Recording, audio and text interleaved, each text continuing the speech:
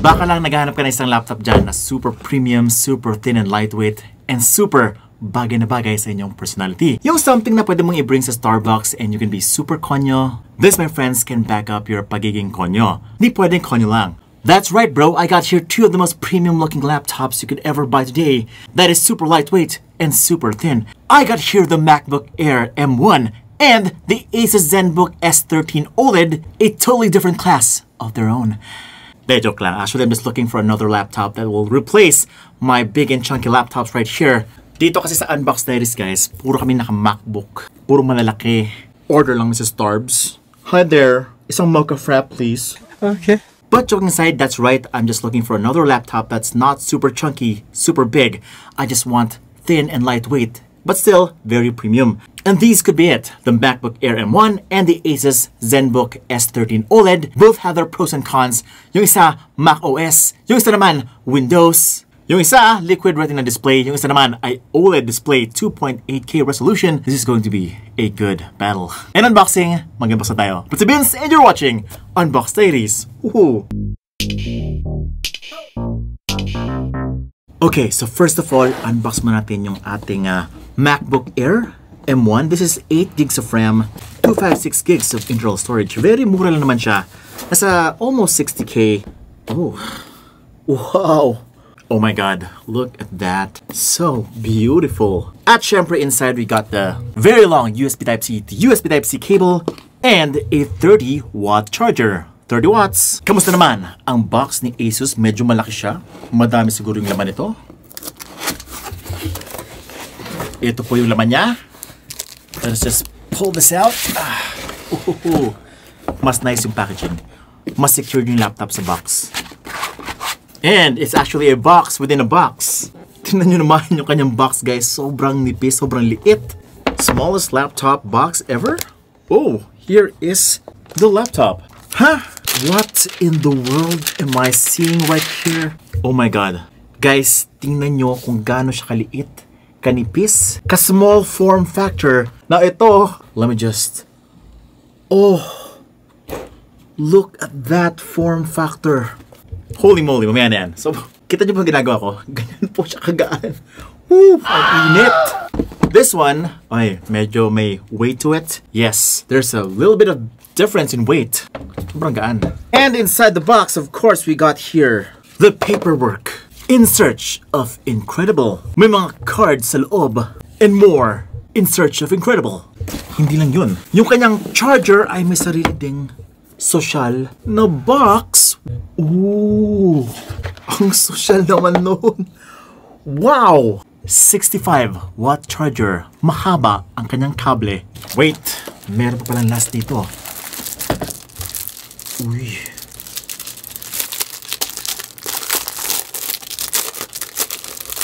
Nice. It has a cover inside the box. Zen Book. Panalo. Actually, very useful to Thank you so much, Asus. Tapos na ang ating unboxing. Ngayon, check naman natin ang kanilang itsura. Now, syempre, the first thing that you're gonna notice here is the signature Apple design of the MacBook Air M1. Lahat ng mga legit na kunyo, merong ganito. Makakain naman tayo ng lechon sa land. They joke lang. Baka yung iba bro, konyo lang talaga magsalita. Di ba bro? Pero ayun nga, ito yung design. This is what a MacBook looks like, or a traditional MacBook looks like. An all-aluminum body. Very classy. Very premium. Very, very Apple. Pero guys, ito pala ay MacBook Air, hindi pa siya MacBook Pro. Ang pinakaiba nila is ito ay mas manipis, mas magaan. And if you look closely, dito siya makapal. Panipis po siya ng panipis hanggang sa dulo. Para sa akin, ito yung pinakamagandang design sa isang MacBook. This is the sharpest, most elegant looking model that they have made so far. Ito po ay 129 kilograms. 16.1 millimeters thick. Impressive. But wait till you see this. The Asus ZenBook S13 OLED. Isang laptop na 1 kilograms lang guys. 2.2 pounds in the palm of my hands. Just 14.9 millimeters thick. One of the lightest laptops in the world right now. The body is a combination of magnesium and aluminum. And a little bit of plastic right here. Siyempre, alam ko na yan. Gusto nila, more lightweight. Yung kanyang pagka-premium at yung kanyang build quality ay very similar to the MacBook Air. Pares pong minimalistic ang kanilang design.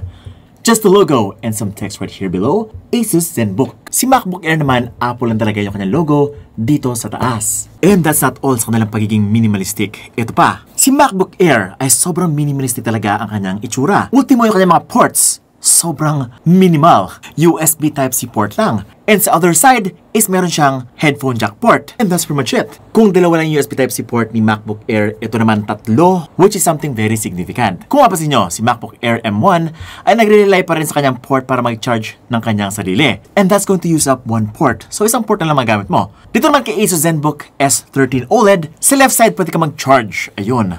Diyan mo lalagay yung charger, And sa other side naman is meron ka pang dalawang extra USB Type-C ports na pwede mo paglagyan ng keyboard, mouse, isa pang dongle, isa pang USB hub, mga ganun para mas convenient. And of course, meron pa siyang headphone jack and microphone port right here. At guys, good news, itong tatlong USB Type-C ports ay lahat USB 3.2 na. Si MacBook Air naman, dalawang Thunderbolt 3 ports slash USB 4 ports na sila. Ito yung dapat makita. For some people, hindi na kailangan ng extra angle on their displays sa kanilang mga laptop. But for some like me, gusto ko kasi extreme yung aking angles na nagagalaw for a display. Si MacBook Air M1 or pretty much any MacBook I use, hanggang dito na lang lagi. Nakakatakot ng isagad pa, baka mabali yung kanyang display. Ito naman kay Asus ZenBook S13 OLED.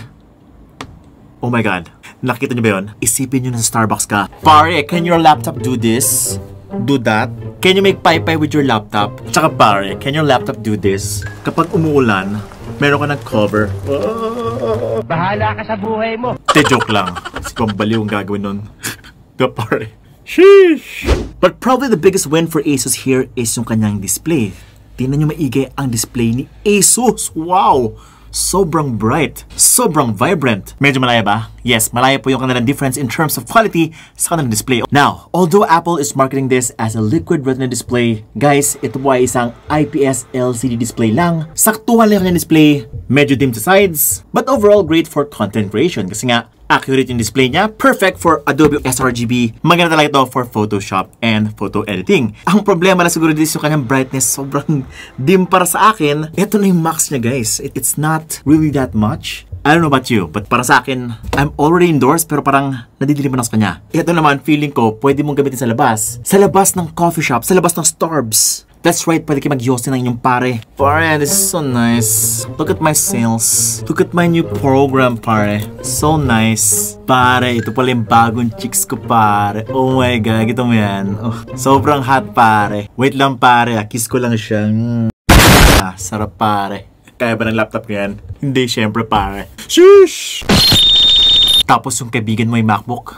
Ay, pare, tinan mo naman sa akin. Ay, ang, ang dark. Ang dark naman sa'yo. What's that? Look how vibrant my display is. Yours is so yucky and so less contrast. Ano yung kaya to eh? But yes, kidding aside, si Asus ZenBook S13 OLED ay sobrang ganda ng kanyang display. Siyempre, OLED to eh. Ang difference po ng IPS at OLED display ay sobrang napakalayo. It's night and day. But just to give you a quick rundown sa kanilang specs, ito na po yun. Si MacBook Air ay merong 13.3 inch, 2560 by 1600 IPS LCD display that has up to 400 nits of brightness. Si Asus ZenBook S13 OLED naman ay merong 13.3 inch 2.8K OLED display na merong up to 550 nits of max peak brightness and it's already got Dolby Vision and HDR support.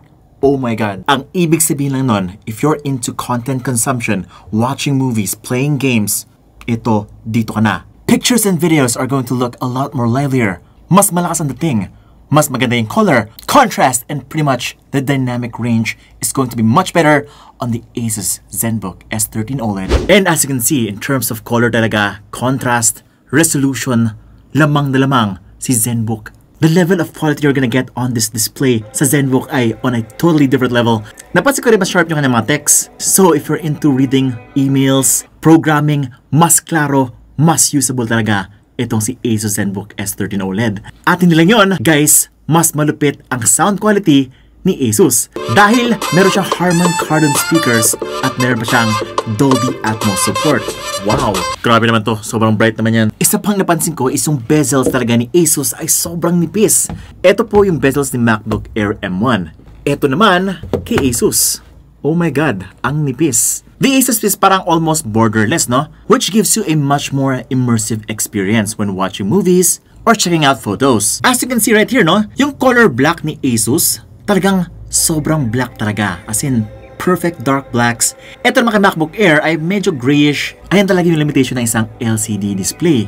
And with the support of HDR content, or Dolby Vision, kapag nanood ka ng Netflix, pumapalo yung kanyang HDR support. And in movies, you're gonna get better contrast, more details in the dark areas, better handling of lighting, at mas maganda overall yung brightness na makikita mo kapag watching movies here on the Asus. The Asus is also future-proof, no? Meron na siyang Wi-Fi 6E technology para mas makasupport ng mas malawak na range of bandwidth. Which is parang nagsusupport na to siya ng pinakabagong 6 GHz Wi-Fi. Nice! Asus is calling it Asus Wi-Fi Master Premium with Smart Connect. Si MacBook Air M1 ay Wi-Fi 6 lang, so in terms of future-proofing, mas future-proof si Asus ZenBook S13 OLED. But wait, in terms of typing naman, no, syempre, important pala ito, nakalimutan ko sabihin.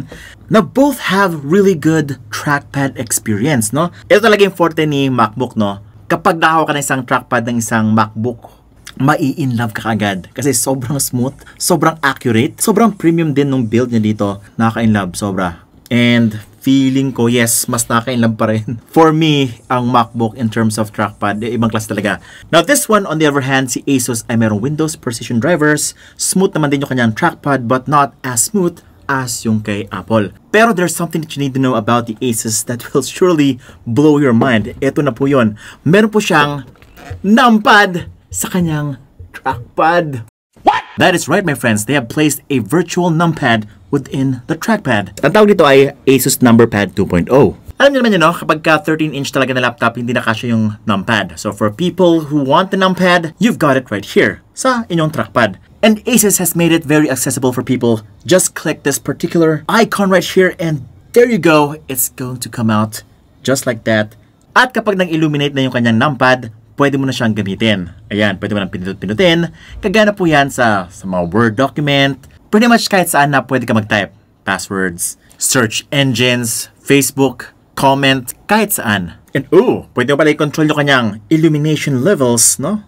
Meron siyang icon dito sa upper left corner that controls the amount of light that the trackpad emits. No? Kung uh, nagsisave ka ng battery, you don't want the light, pwede naman. Oo nga pala, nakalimutan na yung kanyang keyboard. Isa sa mga pinaka-important yan na topics na dapat i-cover sa isang laptop comparison or review. Now, in terms of the keyboard experience, I would have to say that the Asus takes this simply because mas maganda yung kanyang travel, mas may lalim. Ito guys, medyo shallow. Parang feeling ko matigas masyado yung keyboard ni MacBook. It is not such a good typing experience. Iba pa rin talaga yung MacBook Pro dati na maganda yung keyboard. Kailan makapal yun. This one, on the other hand, guys, mag-e-enjoy talaga kayo mag-type dito. So, kung mahilig ka mag-type, you do programming, isa kang writer, you will be right at home with this laptop kasi meron siyang magandang feedback kapag ka napindot mo siya. And it's not noisy. Saktuhan lang. Yun nga lang, bakit nasa gitna yung power button dito sa Asus? Baka magkamali ka dyan. Katabi lang ng delete button. And guys, hindi mo nalata. Meron pa siyang fingerprint scanner integrated into the power button. Wala lang, napansin ko lang. While si MacBook Air M1 ay meron po yan dito. Sa may power button, you just need to register your fingerprint. Siyempre, kilala to as the Touch ID. So, iPhone, dito, Touch ID po yan. Which for me is very convenient, especially if nagmamadali ka, no? Nabuksan yung laptop mo, hindi ka na magta-type ng password. Although meron naman si Asus niyan, si Windows Hello, gagamitin yung kanyang webcam to unlock the laptop. Siyempre, face recognition yung gamitin niyang technology, not fingerprint. And now, for the interesting part, which one is the faster device? Kamusta naman yung performance ng dalawang to? On the Asus side, meron siyang AMD Ryzen 7 6800U. Mabilis na po yan. Pero siyempre, there's something about the MacBook that sets it apart from the competition starting last year which was the release of the M1 chip. Guys, ito pong laptop na to ay merong Apple M1 chip 8-core processor. Sariling processor po to ni Apple. And by God, is it so optimized for Apple applications. Apple applications, take note. Siyempre, mas may control ka kapag Apple applications. Pero kapag Windows naman, mas marami ka pang pwedeng gagawin dyan. Marami kasing processor na available sa market for Windows. Ayun na naman. But what does that mean for me as a consumer? Now, in terms of speed, syempre, ang bilis talaga ng M1 chip when you're just doing Adobe apps, Premiere Pro, Adobe Photoshop, especially Apple optimized apps like Final Cut Pro, iMovie, ibang klase talaga itong machine na to for those types of software. But if you're not really into the Apple ecosystem, this one is actually fast enough for pretty much any apps available for the Windows ecosystem. Microsoft Office, Microsoft Edge, mga financing apps na wala dito, yes, this one is definitely fast enough to handle those without a hitch. Photoshop wala din problema dito. Pero kasi kapag ka content creation na, that involves video, medyo mahirapan siya kasi wala siyang parang powerful graphics card to back it up. Oh, by the way, meron siyang AMD Radeon Graphics RDNA 2 or 6080M. It is a mobile graphics pero hindi siya kasing level ng mga 3080, 3070 or any major graphics card na nakita niyo sa mga gaming laptop, gaming PCs. Wala po siyang ganun. I just think what they're targeting right here, itong sa Asus ZenBook, is sa mga students, mga professionals just like you who just wants a very premium laptop that has Windows, that has a great display, and has very versatile features. This is going to be right at home for you. Now, in terms of gaming, uh, I can't do a comparison video guys kasi nga hindi naman gaming laptops ito mga to, especially si MacBook, hindi po optimize ang MacBook for gaming. Mahirapan po yan. Nag-try na po mag-gaming sa isang MacBook or sa iMac. Uh, pangit po. Don't try it. Masisira ang buhay mo. Kapag games talaga guys, Windows. Uh, this one can pretty much play at least the, the bare minimum ng mga games. Dota 1, League of Legends, konting Valorant sa lowest settings, kayang-kanya po yan. But again, don't expect too much dito sa ano kasi it's not really marketed as a gaming laptop in the first place. Now, after comparing them inch by inch, spec by spec, which one actually provides the better value. Let me just start with the MacBook Air M1. Ito po ay mas mura ng konti. That's right, in this comparison, mas mura ngayon si Apple. Kaya lang there's something that you need to know about this kasi ito yung kanilang base model which is 8 gigs of RAM 256 gigs of internal storage. Guys, yung 256 gigs na yan ay sobrang liit. Kung pang study, pang work, kulang na kulang talaga yon. Guys, take it from me. Ang hirap na maliit yung kanyang SSD. At least go for 512 SSD. Promise, hindi kayo magsisi. Si Asus naman ay at least 512 gigs of SSD, 8 gigs of RAM. Ito yung presyo na dalawa. For the Apple MacBook Air with M1 chip, 8 gigs of RAM, 256 gigs of internal storage, ito po ay 57,990 pesos. Si Asus ZenBook S13 OLED naman, 8 gigs of RAM, 512 gigs of internal storage, ay naghahalagang 63,000 995 pesos. Ito pa ay AMD Ryzen 7 6800U. And with that, you're gonna get double the storage, a much better display, a much better keyboard, faster charging, mas manipis, mas magana. I think this one has the better value overall. Si Asus ZenBook S13 OLED. Oh, by the way, kung kulang pa sa inyo yung specs nitong si ZenBook, meron pa siyang isa pang configuration na mas maganda. Ito po yun. Meron pa siyang 16 gigs of RAM, 512 gigs of internal storage, ito po si AMD Ryzen 7 6800U na naghalagang 76,995 pesos only. Pero yung katumbas na naman to guys is yung Apple M2 na which is also very fast. Sobrang mahal naman of 99,990 pesos based sa Apple website. And still, IPS display. Ba't ganun? O pala, I forgot to tell you guys, ang sabi ni Asus, ito ay 19 hours, up to 19 hours of video playback. Ito naman si MacBook Air M1 ay up to 18 hours lang of video playback, so mas maganda yung battery life nitong si Asus ZenBook S13 OLED. This is truly a machine to be reckoned with. And I just love it. That's why I'm purchasing one right now. Actually, ako na to. Sana all! This is sobrang ganda talaga. Very light, portable. And that's what I'm looking for talaga sa isang bagong laptop this 2022. And that pretty much wraps up our video today, pare. So I'm just gonna go na no sa Starbs. This is just so cool with my cafe latte venti. Just gonna go enjoy na. Sheesh! Tanga! Well, if you wanna see more videos just like this, mag-subscribe ka lang, hit the bell icon so that you don't miss any of our great content about the bins and you're watching Unbox Diaries! Hoo-hoo!